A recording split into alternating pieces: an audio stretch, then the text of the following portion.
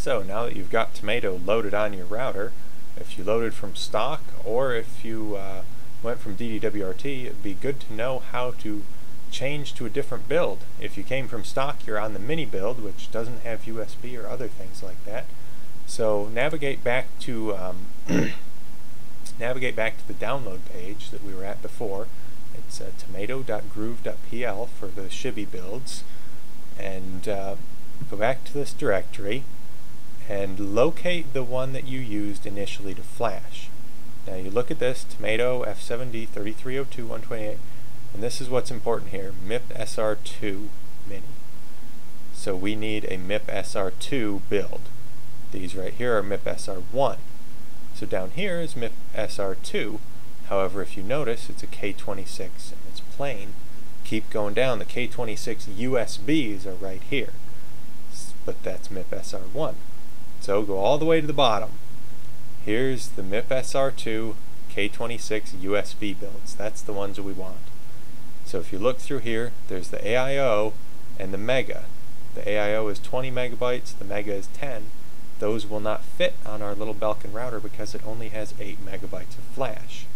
So we have to choose between the big VPN, the BT VPN, the BT, BT GUI VPN, NoCat VPN, Tor VPN, and VPN.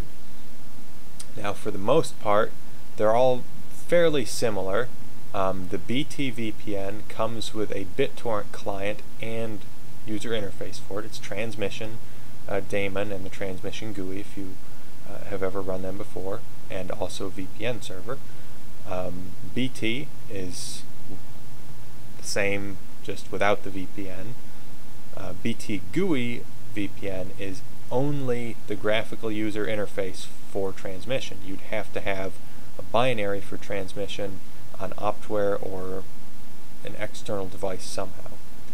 The uh, NoCat comes with a NoCat Splash, which is a captive portal, which could be used for in a restaurant or something like that.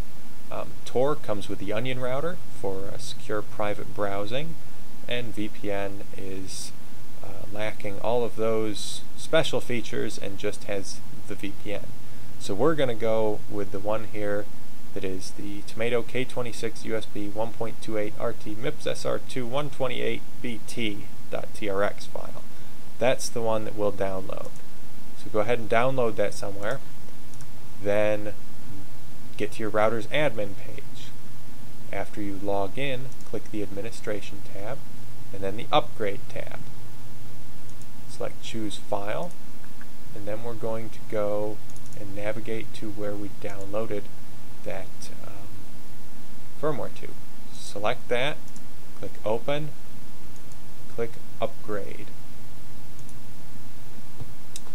and then wait.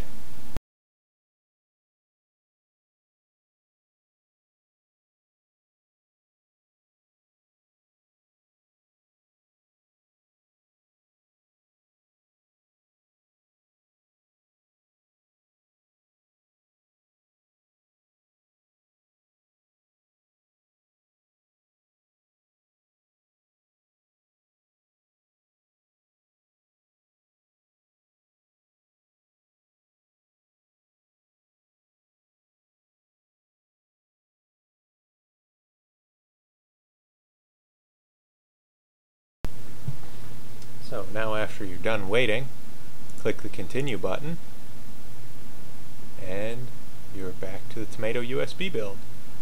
So now that you've got a build that has a USB and some other cool fancy functions, um, follow along with our other videos that will be coming out soon and how to configure this.